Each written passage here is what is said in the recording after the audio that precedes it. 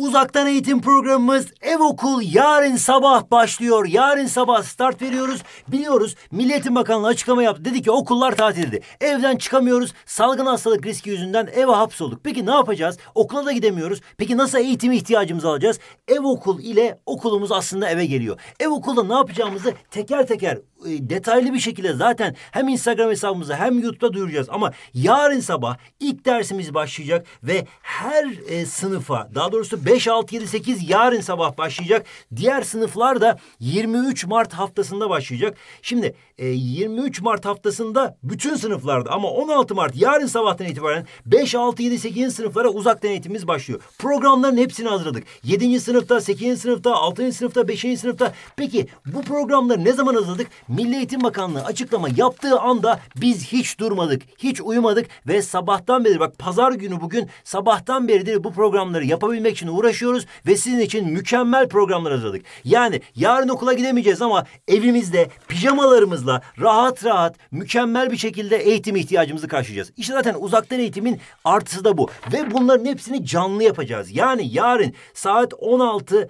pardon saat diyorum 16-20 Mart arasında Şubat ayında 5, 6, 7, 8. sınıflarda Türkçe, matematik, fen, sosyal, İngilizce tüm konuları tekrar ediyoruz. Tüm konuları tekrar edip yani e, ikinci dönemin başından itibaren işlediğiniz tüm konuları tekrar edip eksiklerimizi kapatıyoruz. Sonrasında da 23-27 Mart arası Milli Eğitim Bakanlığı EBA'dan ve televizyonlardan yapacağı canlı yayınlarla eğitimdeki e, uzaktan eğitim ihtiyacını karşılayacağız dedi. Peki biz de ne yapacağız? Aynı Milli Eğitim Bakanlığı'na paralel yüzde yüz kazanımlara uygun canlı bir şekilde canlı sizin sorularınızı cevaplayacağız. Sonrasında e, beraber soru çözeceğiz, challenge'lar yapacağız. Kim önce çözecek, kim hangi yorum yapacak ve benzeri yarışmalarımız olacak. Hızlı ve bilgi yarışmalarımız olacak. Motivasyonlarımız olacak. Yani resmen okuldaki gibi etkinliklerle dolu mükemmel haftalar bizi bekliyor. Yani evimizde oturacağız pijamalarımızla her dersi teker teker dinleyeceğiz ve hem